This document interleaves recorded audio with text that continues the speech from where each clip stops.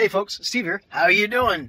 Micro job today. I have to take a 2x4 right there because it's the only thing that I had. It's Sunday, it's Easter.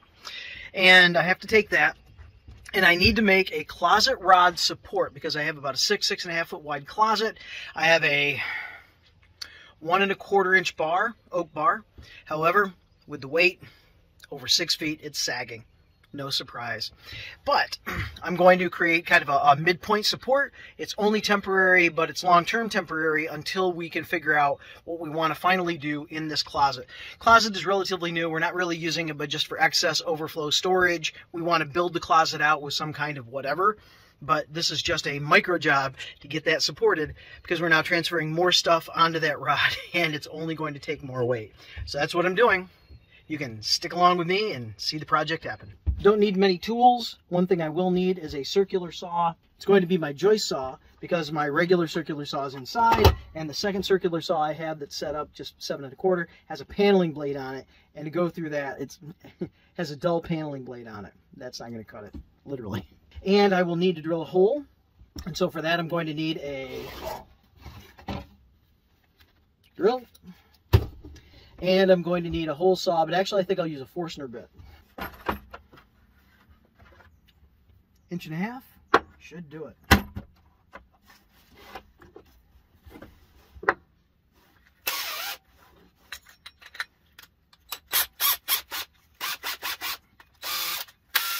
Okay, two tools that I need. And I will also need to have a measuring tape and a pencil to mark it.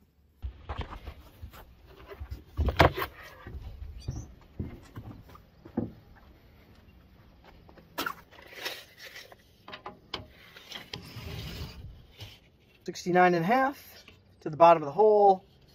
And then this thing here could be, it could be 71.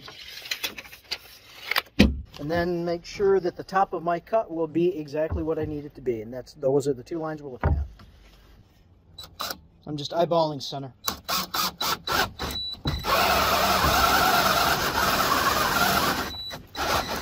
This line right here the hole starts to close up, but my bar will actually sit down inside of that. It'll lift the bar up, give it support. And because it's just down weight at the moment, I should not have to do anything as far as to lock this in, to screw it in, to glue it, or anything like that. This is only temporary.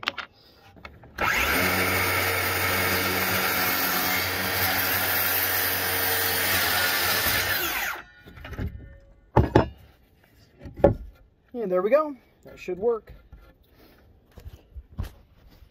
Let's go fit it.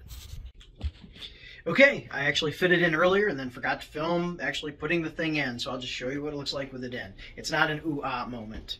Oh, but here's the closet. So that right there is a bump out into our new addition from this bedroom. And we included this closet in basically a study area that's doubling as an art studio.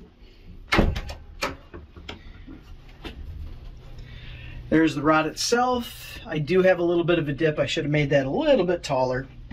But the fact is, that's going to support all the weight it needs to, all the way across, and eventually this closet will be somehow outfitted with some kind of build out. Now, we're not quite sure exactly what that'll look like, but this closet needs to be way more functional, utilizing all the storage that we can possibly use, including hanging clothes. Let's go to putting away the tools, my favorite part. Well, one of my favorite parts. Getting them out, making stuff, putting it away. Three parts, all favorite. Let's go to that.